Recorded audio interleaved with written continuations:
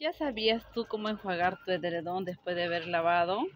Lo que vamos a usar en primer lugar es... Bueno, lo que vamos a añadir es el ácido cítrico, que es en forma de polvito, un puñadito,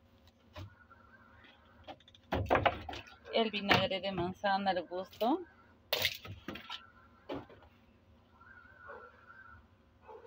el enjuague.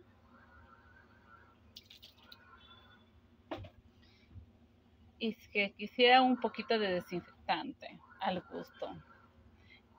¿Cuál es la función del ácido cítrico? Aparte de que es un poco ácido, que es muy bueno para las personas, digamos, que estamos en calor, en épocas de calor, es muy bueno también.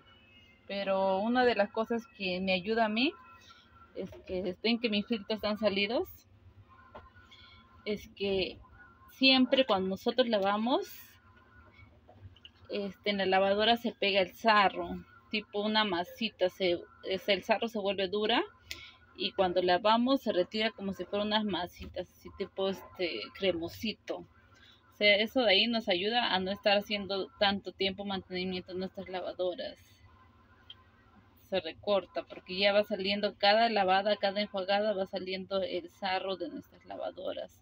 Por eso utilizo mi ácido cítrico siempre. Constantemente este es el ácido cítrico, lo pueden encontrar donde las personas que los ingredientes para hacer tortas en esos lugares. Siempre le echo a mis enjuagues un poquito de ácido cítrico mayormente en la época de que hace calor en verano que es muy bueno.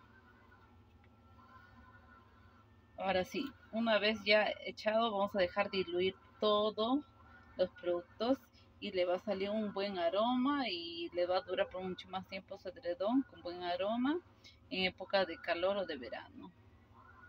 Vamos a dejarlo diluir. Ya una vez que se disolvió todos los productos, el desinfectante, el quita el ácido cítrico, el vinagre de manzana con el enjuague de preferencia, colocamos nuestro edredón para que pueda enjuagarse durante 20 minutos y esté con un super aroma, todo bien desinfectado, liberado de las malas energías, empezar un ciclo nuevo de uso. nos, espero que lo usen estos productos, esta mezcla para su mejoría todos ustedes. Tienen que recargarse, de buena energía. Tupanachicama, mis queridos amigos, Pachequita, Enjuaga y Kai Formula One. Tupanachicama. Nos vemos. La Marítima y Sol.